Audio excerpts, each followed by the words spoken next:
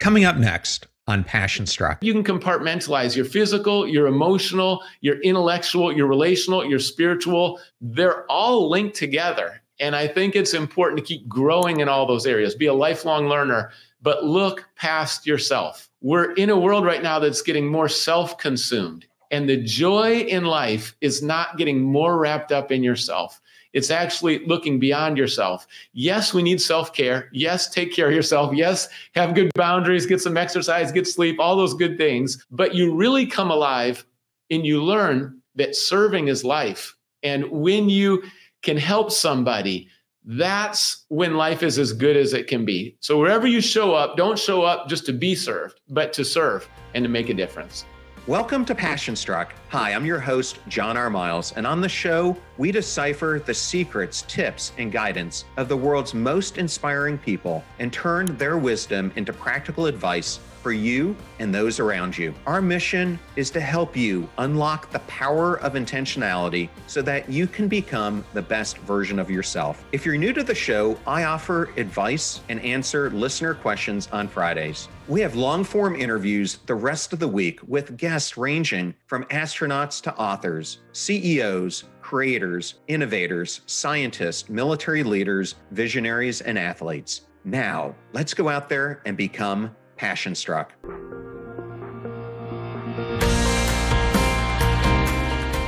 I am absolutely thrilled today to have Jesse Bradley join us on Passion Struck. Welcome, Jesse. John, it's great to be here. Thank you. Thanks for your podcast, too. I appreciate the episodes and just you honing in on this topic of passion. It's so important in our lives. Well, thank you for that. We're just past our third year anniversary. So we are so thankful to have the opportunity every single day to inspire and to reach people and to try to help them live better, be better, and create a positive impact in their life and on others. So happy to be doing this and to have you as a guest today. Excellent. It shows and it's genuine and it's authentic. And I think people pick up on it when your podcast is there to empower, encourage, and serve people. And there's so many people gaining so much wisdom. So thanks. Keep up the good work. Thank you for that, Jesse. And I like to give you a chance to get to know our guest. So I was hoping you might be able to take us back to your childhood and tell us a little bit about it. Uh, what was it like growing up? Where did you grow up? And maybe just set some foundations for us. John, passion started for me when I was two years old. And I told my parents I want to be a professional athlete. Sometimes you just know early in life. And I grew up on the campus, the University of Minnesota. That's the Golden Gophers in the Big Ten and we went to all the different sports games. And I'll tell you, in the middle of the frozen tundra in the winter, you know, it's kind of bleak some days. But when you step into that arena and everyone needs to kind of vent and release, and they're just going for it, literally the barn, that was the name of the basketball stadium, it was shaking. And the hockey, you think of some of the legends that came out of the University of Minnesota, it was caught. You know, passion is a lot more caught than taught. And when I stepped into those settings, I just told my parents, this is what I want to do the rest of my life. And my parents were divorced when I was seven, couldn't hold them together as a kid. It was a feeling that was pretty helpless. And yet it's not what I wanted. I couldn't stop it. And there was a lot of sadness.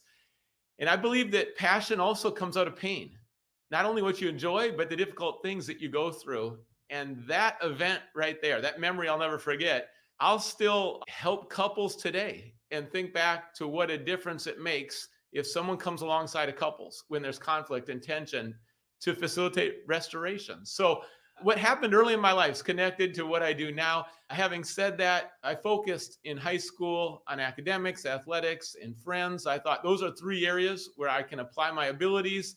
There was success in one sense, success on the outside, but we won state championships. I went to Dartmouth College, Ivy League school, had good grades there, and made a lot of friends. So on the outside, let's say there's the outside story and the inside story. The outside looks successful. On the inside, I was still struggling in different ways that I didn't share with people. But one turn for me is just my spiritual life. That's what I discovered in college. I didn't see it coming, but I come from a family kind of like Baskin Robbins, 31 flavors. And I didn't believe God existed. And I was at Dartmouth, and in a class, they assigned uh, the Bible. And that was the first time I read the Bible. But that was linked to me eventually becoming a pastor. I did play professional sports, played soccer overseas, Love the sport, still very involved now. Seattle Sounders, Faith and Family Night. I play, my children play. Sports are a big part of my life. And my career ended tragically overseas. And we, we can get into some of that. But I was playing in Africa. I also played in Scotland. Just love that soccer is an international sport, building relationships with people around the world and coming together in unity, friendships that are formed. Sports just give you a picture about life and the friendships that I made, the relationships continue today. And life's about relationships, it's about love, it's about passion. So that's a quick overview of some of the different times during my life and how they've shaped where I am today. Well, thank you for sharing that. And as I was uh, growing up and myself thinking about where to go to college, I was recruited by a whole bunch of the Big Ten schools. And both my parents went to the University of Michigan. So that obviously would have been my top choice but I also got to go to Indiana and Wisconsin and some of the other schools. Never did make it to Minnesota, but love the game that Michigan plays with Minnesota every year to get the cup. Now, I understand, speaking of colleges, that you initially had your dream set on going to Stanford, but you ended up getting rejected. And I was hoping you could tell us about that experience and how maybe it closed one door but opened another and what you learned from it that was a key point in my life. I had worked hard with grades, academics, SAT, looked to be on track to get into Stanford. I talked to the coach there, and he was very excited to have me join the team. And then the day came in the mail. And at that time, they let you know through a letter in the mail. And when the letter came, I saw it was a very thin letter. You don't want to receive a very thin letter or packet when you apply to a school and think you're going to get in. I opened up that letter and it said, Sorry, you are not accepted to Stanford. And that was crushing for me because when you don't expect something and it blindsides you, where do you turn? What do you do? I didn't have a backup plan. I just thought, this is going really well. This is where I'm going. And sometimes in life, it's going one way and then suddenly it's not going that way anymore. And what are you going to do when that door closes? That can test you to the core. And what is life going to look like? How do you make the best of the situation? From that, I continued to reach out, talk to different coaches. And the coach at Dartmouth, he was a soccer goalkeeper. He played in Scotland. He was a legend for the Scottish national team. And he also had been involved in soccer worldwide. He chose, instead of you know, coaching one of the top clubs in Europe, he's friends with Alex Ferguson, who is a legend at Manchester United. So Bobby Clark could have been at the very best clubs in the world, but he chose to come to Dartmouth, small town New Hampshire. Why? Because he cared about the development of young men. And in Scotland, a lot of the players, if they didn't make it professionally, they wouldn't have an education. And he really values an education. When I talked to him, it was wonderful. It's like I had a great friend. We would talk for over an hour on the phone, longer than any other coach. Life's about relationships. And we built a friendship. It was humorous at times because his accent is sometimes thick. And when he says goodbye, he says it about 15 times. He would say, bye, bye, great, bye, okay, bye now, bye, bye, bye. We would joke about it after we were you know, on the team together. How many times did coach say goodbye to you and you were a recruit? You never know when to hang up the phone. But we joked about a lot of things, and Bobby Clark mentored me. I wouldn't have made it as far as I did without the coach that I had in college, coaches set a culture that's professional. They, they set a championship culture. It's both in the locker room, on the field, and off the field. Uh, coaches really teach you about life. Soccer is just a platform. Coach would say, ah, it's the wee things. It's the wee things. And that means it's the very small things. How you do the small things is how you do everything. So if we're going to win a championship, it starts with the small things, lad. And he, he would say, It's a great day. It would be snowing and windy and cold. And he'd say, It's a great day for soccer. Just teaching us about mindset and attitude and how we approach things and not complaining. And I could go on and on about life lessons from Bobby Clark. All that to say, if you're playing a sport or you have children playing a sport, choose the coach carefully because if you find the right coach, everything else will flow from that. And I just see it as the grace of God. One door closed at Stanford, and it couldn't have gone better at Dartmouth. I think a lot of the blessings in life that we really enjoy, that mean the most, we don't see it coming. And you can't even plan it. Like I couldn't sit down and plan when I was going to meet my wife. but there, when it happened, it happened. And I just knew it was in Iowa City. And she's one of the greatest blessings of my life. A lot of times it'll be through initial disappointment or an extended waiting time. But then in that key moment, and part of it is how your characters develop through disappointment, part of it is the clarity that comes through disappointment. There, I never liked to grieve. I was someone who always just tough, get through it, don't cry, don't talk about it.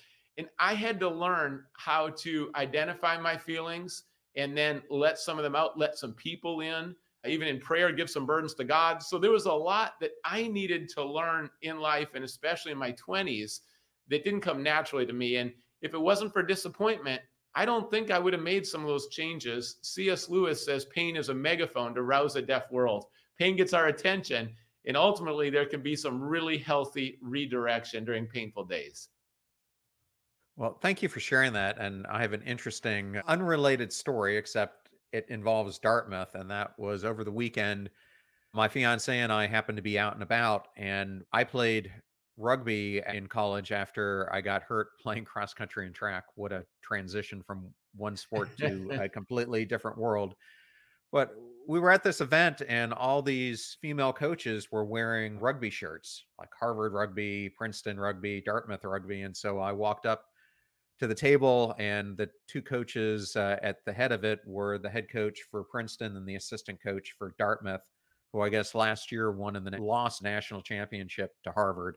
But Dartmouth has a fantastic women's rugby program. I learned, but it, it's so interesting. You and I both played Division One sports, and I don't think people who haven't understand how competitive and basically how much is on you when you're in those sports because I almost think that the university kind of owns you for that period of time. But I did want to ask, how did being a Division 1 athlete prepare you to go into the professional league and what were some of the challenges of being a professional athlete?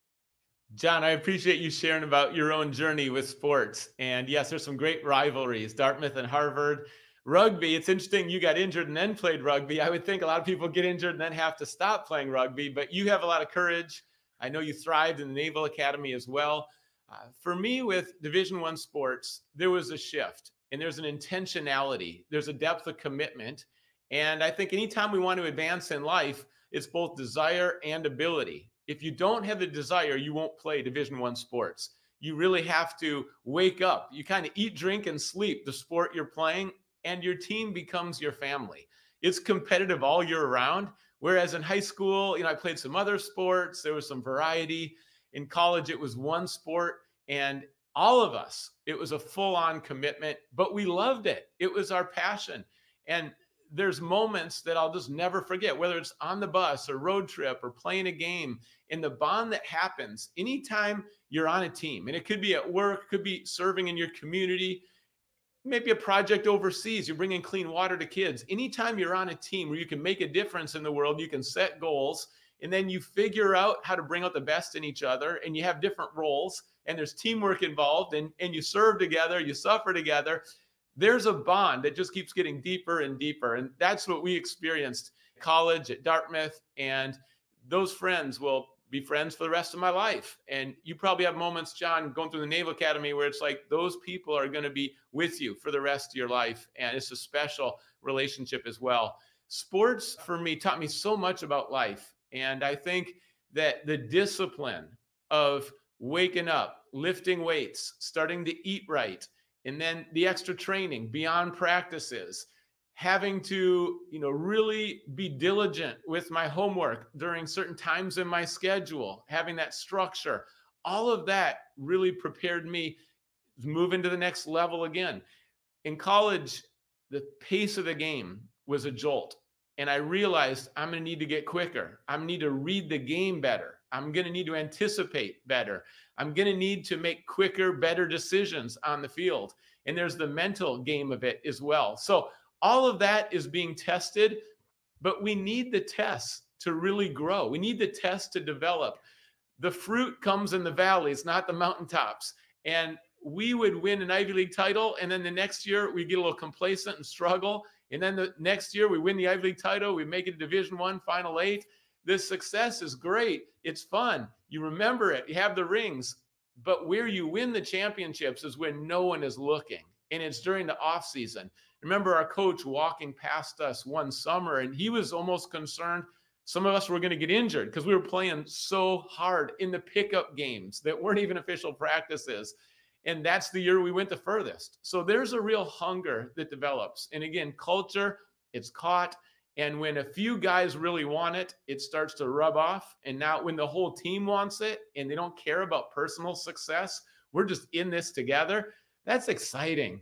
I mean, that's what life's about. When instead of just one person getting the top of the mountain, how can we all do it together? How can we figure it out? Road trips, you know, hostile environments, injuries. How do we navigate these challenges, not to mention personal lives? And when you achieve that success together, it's rich. It's rich. And I think all that prepared me. It became clear I wanted to continue to play. I didn't want college to be the end of the story.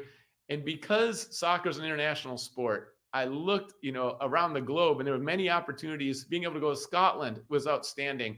And then going to Africa, a completely different place. So much love, so much warmth and hospitality, generosity. And yet there's famine and drought and AIDS and injustice. And I had never been up close and personal with some of those realities. Literally, guys on our team, guys on the national team were dying because of AIDS. And it was a tragedy that I realized is much more important than soccer. And I think in Africa, listen, when you're an athlete, you have to have a certain amount of focus and you have to take your sport seriously. And sometimes you lose perspective on what's even more important than sports and what's more important could be in my own life or in the world or the difference I can make. And I think Africa, there were seeds planted during that time that we're going to continue the rest of my life. And I didn't even recognize it then. But what I saw and experienced when I personally went through in Africa, that shaped and it was like it fueled and it forged a new purpose and passion in my life. And it was far bigger than soccer. Yeah, I want to ask you one more question about it because you alluded to this when you first started the interview, but I understand when you were playing in Africa, you experienced a tragic illness that must have been incredibly challenging. How did that experience shape your perspective of life and your faith? Right, because I was uh, basically prescribed a medication to prevent malaria called Lariam, and it built up toxic levels in my system. I was taking it weekly as prescribed, and yet what was supposed to protect me began to kill me.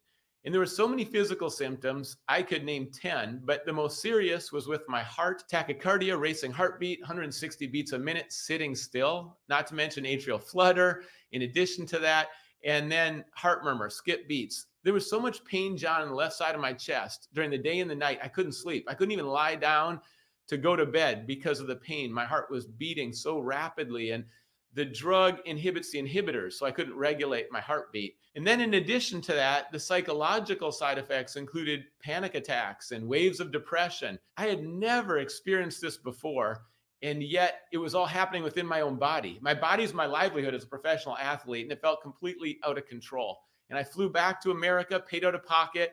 Here's Stanford. I went to a, a physician in Stanford, and he was the first doctor who said it could be side effects of the malaria medication. Now, he didn't think it was that, but he mentioned it. And I'll tell you, I started to pray at that time. And I just had the simple question what's going on with my body? What is it? And when God communicates, sometimes it's not even an audible voice. Well, it's it's not an audible voice. It's kind of like in your heart and mind, you start to hear and sense. And I just knew it's the drug that's causing it. So I told all the physicians who insisted that I take the drug for another month as prescribed because malaria can be latent in your body. And if you have malaria on top of whatever else I had, they thought I would die. I told them, no, I'm not going to take it. We had my blood sent to the Center for Disease Control. They sent it back weeks later, confirmed there's toxic levels of the medication in my system. And if I didn't make that decision, I probably wouldn't be here. And I was fighting for my life for a year, John. It took 10 years to fully recover. But the things that happened that were so good during that time, I was in survival mode in the moment. But now I can look back and say that's when I started to have a gritty gratitude and intentionally find 10 things every day and give thanks for those 10 things. That's when my prayer life changed. Instead of just an intellectual quick prayer, I started to pour out my heart to God. That's when my identity shifted because, John, my identity was in success, performance. Performance based identity is a cruel trap because I was inflated, deflated, pride, shame. It was a roller coaster ride. And I realized I can't have my identity in sports if I'm not an athlete anymore. I can't have my identity in school and grades if I'm not a student. I can't have my identity in something I can lose, even my own health.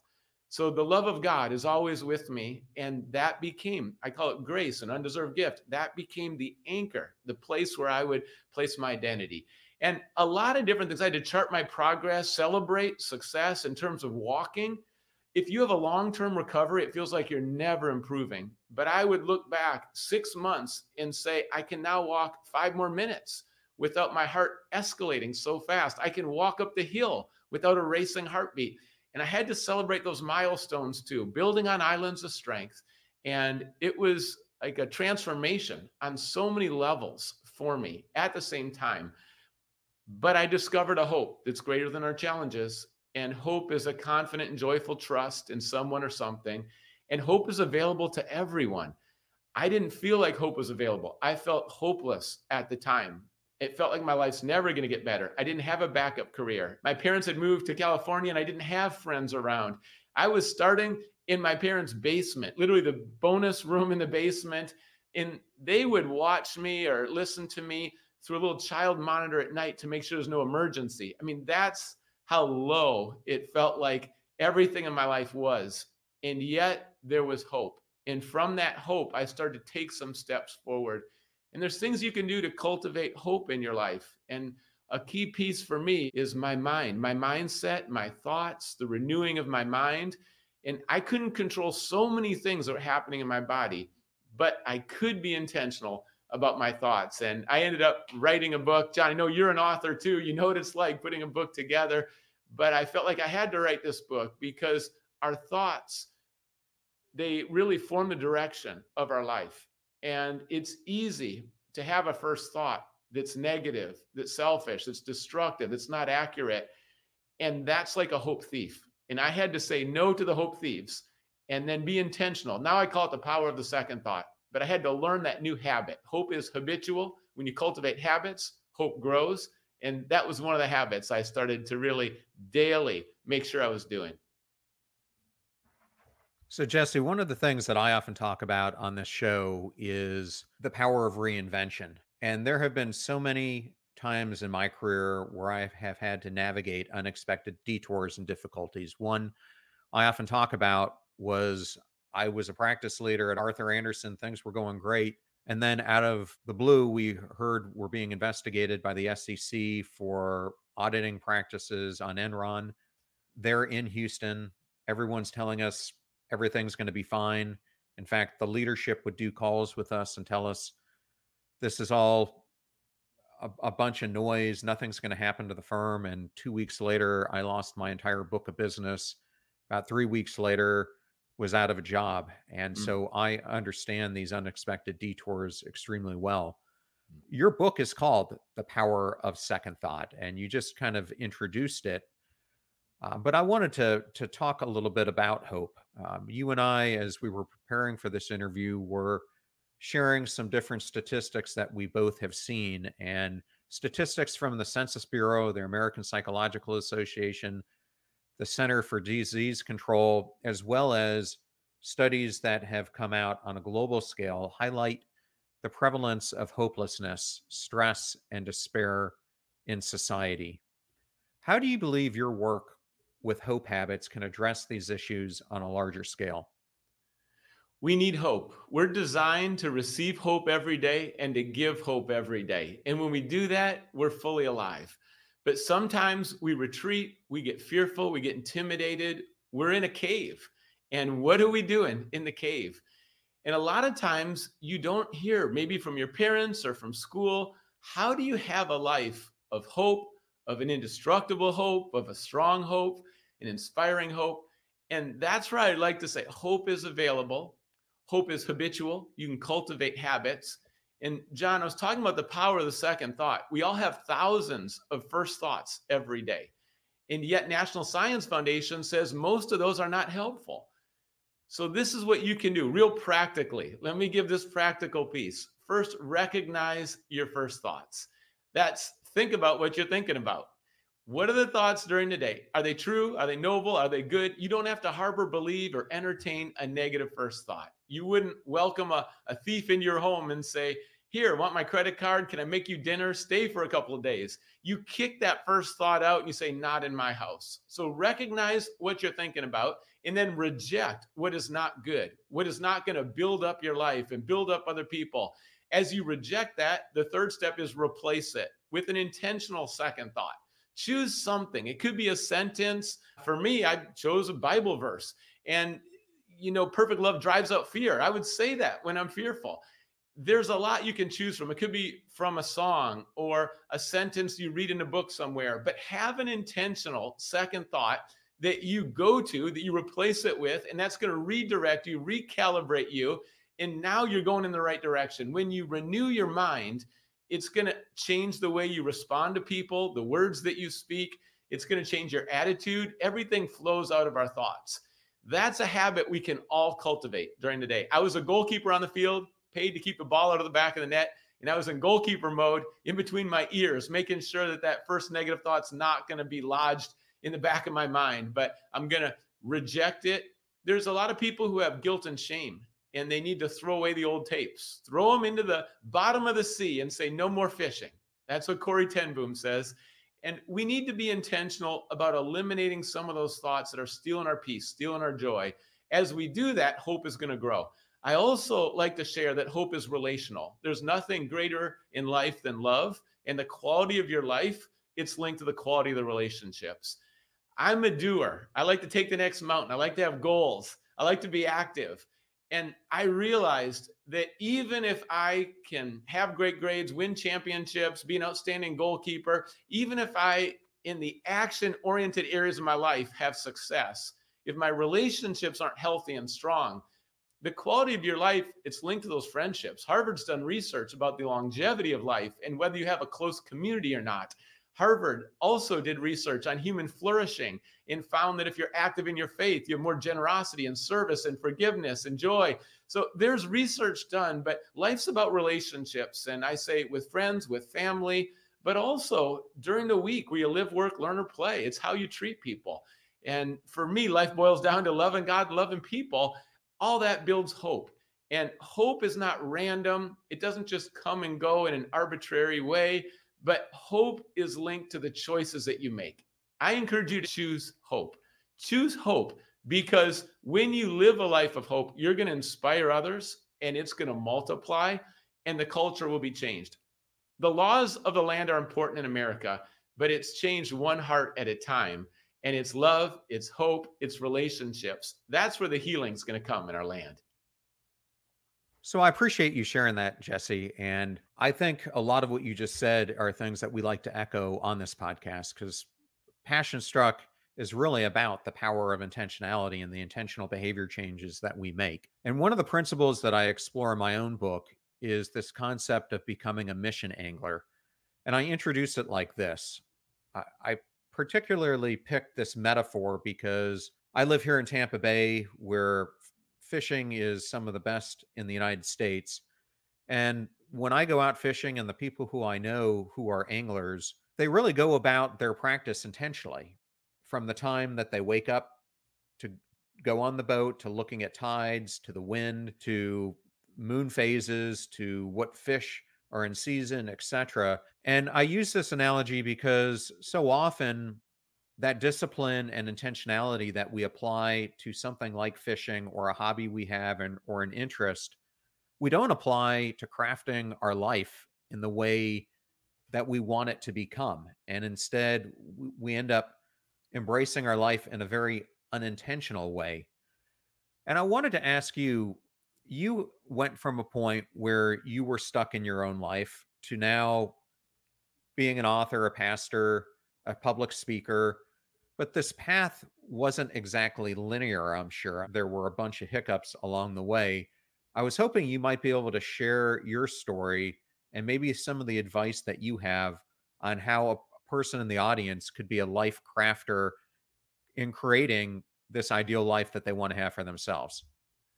John, I love it that you're bringing up that topic. And a lot of times it just starts with a sense that there's more, there's more available in life and the hunger starts to grow and you reject the status quo. There's a lot of patterns in this world and you can just get caught up in those patterns. Some of them are negative and they just they're stifling. It's time to dream again. I like the question, what's ideal? And if you are making a change in your career or your job, that takes a lot of courage. I like to say the 3 Cs. You need clarity in the direction you're headed. You don't have to know everything, but it's hard to steer a parked car. So you have to start moving with some clarity. It's going to take courage. There's going to be obstacles, people that try to talk you out of it, people that throw shade. And then you want to do it with compassion. You want to care for people. It's all about serving, it's all about helping other people. What are your talents? What are your gifts? It's going to be linked to ways that you can improve the lives of others. There's going to be certain needs that catch your attention. When I saw kids need clean water in Africa, I know what it's like to be a kid in Africa, seeing that firsthand, and then what they go through and how far they have to travel and the water they have that's not clean. And we take clean water for granted in America a lot of times. So that's why we have from our church hundreds that run and we make sure that we can provide clean water for kids in Africa. Sometimes it's the need that's the call. And when you start to venture out into a new area, just start serving start serving and using your gifts. It could be as a volunteer and then maybe a part time job turns into a full time job. As you start to serve, you're going to gain experience and the direction will be refined. What you're going to see is certain things you say and do really work. And there's going to be people who tell you and confirm and are grateful. And then you're going to learn about yourself and how you're wired. I say it's one prayerful decision at a time because our maker knows us, just like we have appliances in our house and we go to the maker when we have questions. This is a great journey. Life is a gift. Every day is a gift. Don't take it for granted. And we have so many capabilities now between podcasts like yours, John, and think of also your new book. How many lives, the ripple effect, because you were intentional. You had a passion and you wanted to empower people, encourage people. So you took a step.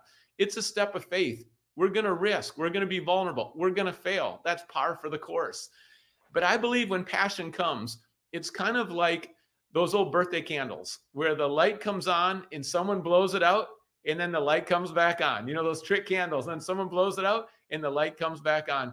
We have four children, and one of the children we have, we adopted. And there were so many people who tried to talk us out of adoption, say it's a bad idea, it's too big of a risk, don't do it, it's not for you. You already have three kids. I mean, can't tell you. It's surprising. It might be surprising for you when you have a vision and a passion who's not supportive.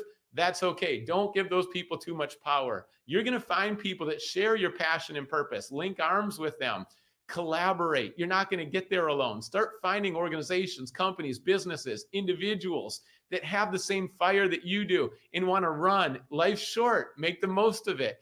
And when you find people, as you share your vision, and you look in their eyes, when their eyes light up and there's a fire in their eyes, because there's a fire in their soul, that's who you want to team up with. If you share your vision and the other person's eyes kind of glaze over, like, oh, really? And they kind of yawn, that's not going to be your person you're going to run with. So find people, you'll see it in their eyes. When you share your vision, they're going to say, that's what I've been thinking about. That's what I'm excited about. And as you find those people, the fire grows. I like to say embers alone start to fade, but when you bring embers together, there's a bonfire. And as you find people and collaborate, win win partnerships, that's when we've seen the most impact. It's been through partnerships, and you might not have those relationships right away, but through social media, find those people. Through LinkedIn, find those people. Take some relationship risks. You're not going to experience this by being comfortable. And I think that's one of the biggest idols in our life is just we want to be comfortable, safe. It's not going to happen in that zone. So you're going to need to be vulnerable, take some relationship risks. There's going to be a lot of rejection, but it'll be worth it. Find out in life what mountains are worth dying on. Not all mountains. There's a lot of unnecessary conflict we don't need, but there are certain causes where it's worth the extra time and energy it's worth the opposition, overcoming the obstacles, going the extra mile consistently, not just once in a while. And when you find that lane, you come alive. I feel like, John, if I wasn't paid for what I do, I would still do the exact same thing because when I wake up in the morning, I'm excited to do this. Like, this is why I was made. It's, it's to come alongside of people and to help them discover their passion, to help them know how loved they are, to help them think through their inner life, their thoughts, their faith, their soul. And I didn't have anyone that walked me through in that journey. But once I tasted and I could see how good it is, I can't stay quiet. I can't contain it. And it's not for everybody, but I want to give everyone an opportunity to say, your life, it can be abundant. And I share what changed my life. And I like to do it in a way that's just genuine, not forced, no pressure, manipulation. But whether I'm talking about Jesus, whether I'm talking about the impact soccer had, hope and how I discovered it, habits, our mindset, our intentional thinking, there's just a lot of things that are combined together for me because I don't think we can compartmentalize. To some degree, we like to, but I don't think you can compartmentalize your physical, your emotional, your intellectual, your relational, your spiritual. They're all linked together. And I think it's important to keep growing in all those areas, be a lifelong learner, but look past yourself. I'll, I'll just say that, John. We're in a world right now that's getting more self consumed. And the joy in life is not getting more wrapped up in yourself. It's actually looking beyond yourself. Yes, we need self care. Yes, take care of yourself. Yes, have good boundaries, get some exercise, get sleep, all those good things. But you really come alive and you learn that serving is life. And when you can help somebody, that's when life is as good as it can be. So wherever you show up, don't show up just to be served, but to serve and to make a difference. Yeah, Jesse, there are a couple things I wanted to highlight there. The first is a lot of people think that you need to have confidence before you act, and they get the whole equation wrong. Action leads to building confidence and courage, which leads you to create more action. So I think that's an important thing for people to understand. And you've hit on now the Harvard adult study of aging a couple times, which is what I think you're referring to, where Harvard ended up studying two groups of individuals, some who were privileged, including John F. Kennedy, and another group who were on the other side of the train tracks who weren't privileged. And what they found was that the amount of money you made, the amount of wealth that your family had, the amount of success that you had or failure didn't really matter. What mattered were a few things, relationships being the top of that pyramid. And eh, Harvard has done a lot of research on flourishing, but so has University of California, Berkeley, and their Greater Good for Science Center. And this is something I wanted to touch on because one of my favorite people there is a guy named Dacher Keltner, who's been doing research on awe and self compassion. And it was interesting to me as I read his book that when we think of awe, we think of awe at the birth of our children which you and I both have, or and maybe winning a national championship or an Ivy League championship or a Premier League championship. And those definitely can bring on your life. But what shocked me is he worked for years with prisoners on death row at San Quentin. And he said he saw in them more forms of awe than he would have ever imagined. And where he saw it most was in simple acts of kindness that one human being does to another or that you do in service of other people. And I think it just harks back to what you were just talking about. And I was maybe hoping you could use that to dive down a little bit deeper into it. Absolutely. I lived in Northern California. I know San Quentin. And when you think about our purpose, there's going to be a sense of compulsion, like I need to do this. There's going to be a sense of joy, and there's going to be a sense that this is much bigger than us. And as you go through it, listen, I'll be vulnerable, John, and say, when I was having my heart problems, I could no longer drive because I couldn't handle any stimulation. I was too sensitive. My system was too sensitive. It took so many years to be able to learn how to drive again and to stay calm. And that's not how I anticipated spending my 20s. So even though I'm talking about different parts of my life that have been so joyful, let me tell you, it stretched me to the core to learn how to drive again. And I had to have the power of the second thought. And I would have things I would say, you know, do not fear, I'm with you. Do not be dismayed, I'm your God. I would be saying these out loud, learning how to drive and at night as well. So that was literally driving through Northern California too. And I didn't know, could I drive an hour? Could I drive two hours? I'm sharing it because there's going to be moments where we feel like we're not enough. We just can't make it. And it's so important to not quit and give up. And that's where I think we need each other. And then ultimately, we need God as well. We need each other. In a prison, we need each other.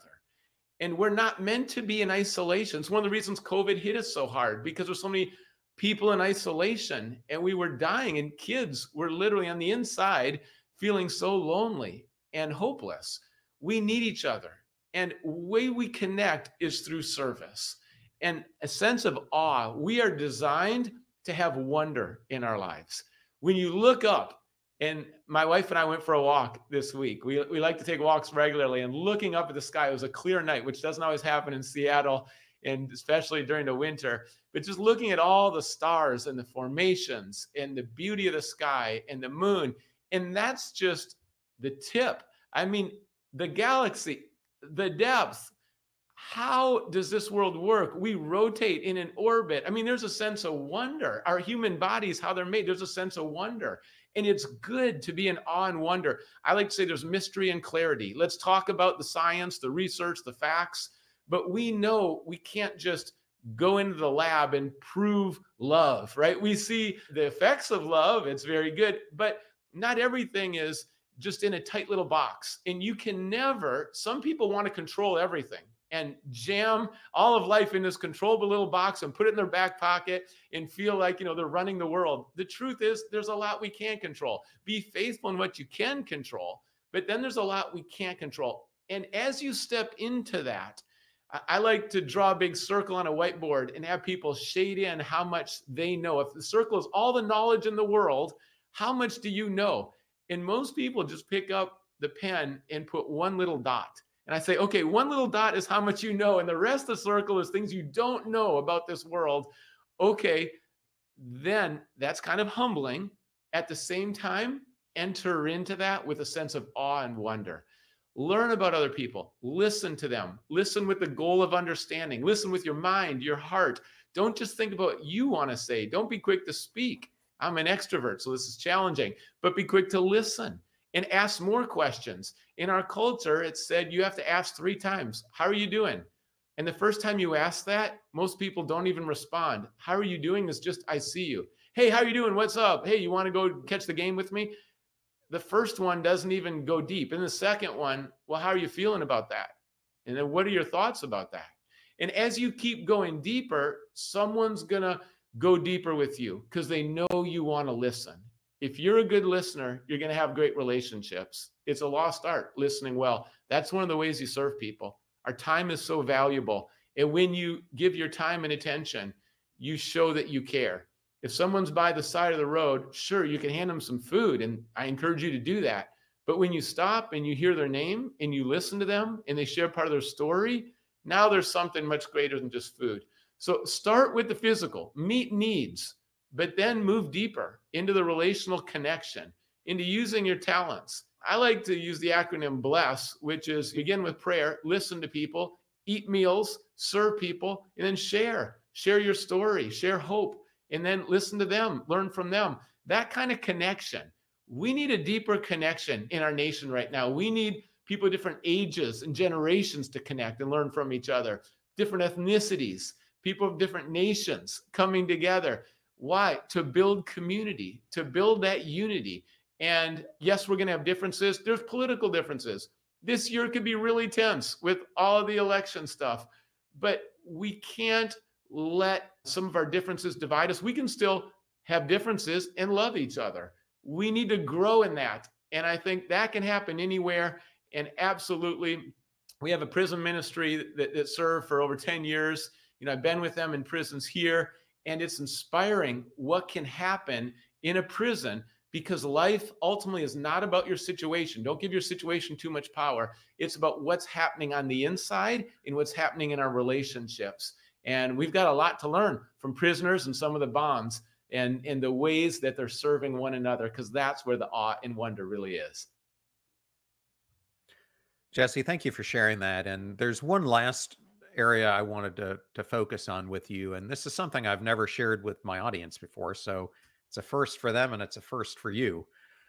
About 20 years ago, one of my rugby teammates from the Naval Academy, Mike Rubel, came to me. I was working at Lowe's at the time, and he brought forth this idea of a nonprofit that we could do together to bring clean water to children and families throughout the world. And we actually found a patent at Clemson that we got ownership of to use that would allow us to introduce something called the water stick, which was going to be a device that, especially in Africa and other third world countries, if they had a low enough water table, meaning you could get to it in somewhere between three and 10 feet, this stick could be put in and had a purification system in it that for basically 50 to 75 dollars a pop you could give uh, portable water to a whole family or in some cases a whole village. And unfortunately we went through a whole bunch of vcs and tried to get funding for it and just couldn't do it hmm. but I bring this up because it was a passion of mine and a Mike's. And I understand you also have a whole focus yourself of trying to bring clean water to every children in Africa. And I was hoping you could talk about that. I love what you were doing there and the creative solutions that we need. You know, we can't just keep doing the same thing and expect different results. And we have a lot of creativity and we have enough people that complain. We have enough people that gossip or slander or criticize, critical spirit. What we need today is people who find solutions and take risks. With innovation, John, there's going to be a lot of ideas, and some of them are going to go further. And you might be surprised by the ones that work, and then other ones, okay, mid course redirection. Let's learn from that, and then let's improve it. So I encourage people today who are watching or listening right now keep thinking creatively, keep collaborating, keep coming up with new solutions and as we do that, we can provide water. You know, we can provide over the next 10 years, we can provide clean water for all the kids in Africa. And how do we do that? It's going to take a number of different leaders. It's going to take people who want to give. It's going to take people who want to go. It's going to take people who are there actually, you know, the new wells and, and digging those. It's going to take all the above. So to really make a difference with substantial generational goals, it's one of those where all hands on deck. Every role is important. Every encouragement is important. Kids should have clean water. Kids should have food. There are some things, again, that are out of our control. And then there are some things that are fixable. There are some goals that are achievable. And all the resources we have now between the networking and social media and email, between videos, between being able to connect overseas, planes to travel, the technology. It's incredible what we can accomplish right now if there's a clear goal, if we work together.